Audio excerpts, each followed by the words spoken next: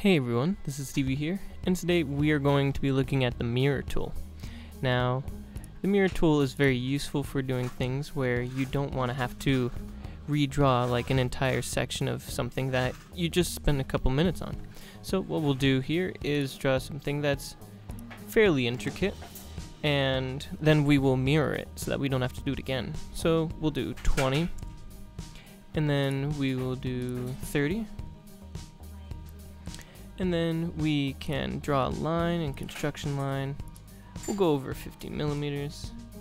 And then we'll turn off construction line and do 20 and 30 again. And now we want to put a little arc in here. There's two ways we can do this, and we'll do them both ways. So first, we'll do a three-point arc. So since these are in their own places, then they are constrained by this dimension here if this side was not constrained by this dimension, when we what we're going to be doing next is making this arc tangent to these. And if I didn't have that constraint, then it would actually move the circle rather than the arc. So what we'll do is just select on these two guys here and then draw it down. We're going to press D and select the arc and I want to make the radius 30 millimeters. Now I want to make it tangent so that it's flush with the outside so that it makes a nice little dip. So we'll click here and click there and we'll click on this one and make it tangent again. And that's nice. And now we can do the exact same thing, but instead of redrawing that, why not just let's use the mirror tool here. So it's up here or in your create tab down here. So we'll select the arc here and mirror line is in the middle there and just press OK. And now it's done. Now let's do this again, except we want to make the whole thing. So it'll be a four four circle part, I guess. so we'll select line again and turn on construction line.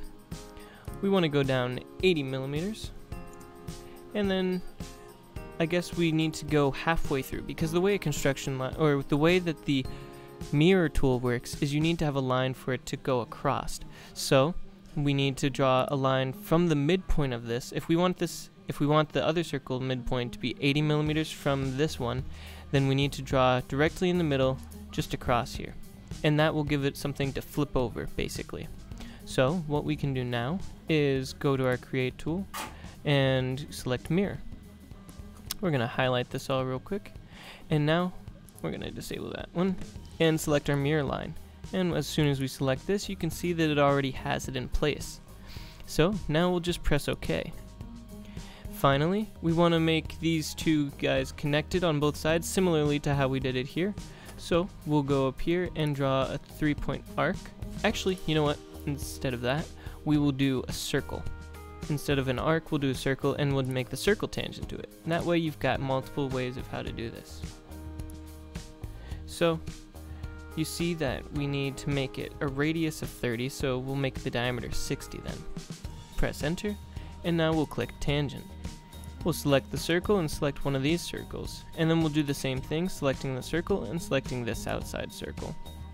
And now, it's got a nice arc in the middle. And we all we have to do to fix that up is just trim it. We'll do, on the other side, we will do a arc, because that way we can see that we can do it both ways. So we'll select a point here and a point here, and just draw it in. We'll press D to dimensionalize it and select our radius of 30 millimeters and press enter. Now you can see it's identical on both sides. I'm just going to hide our dimensions and constraints real quick so that you can see it.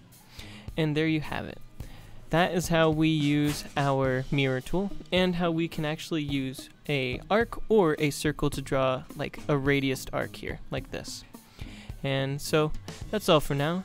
Thank you for watching everybody. Please like and subscribe, comment down below if you have any questions, and we'll see you in the next video.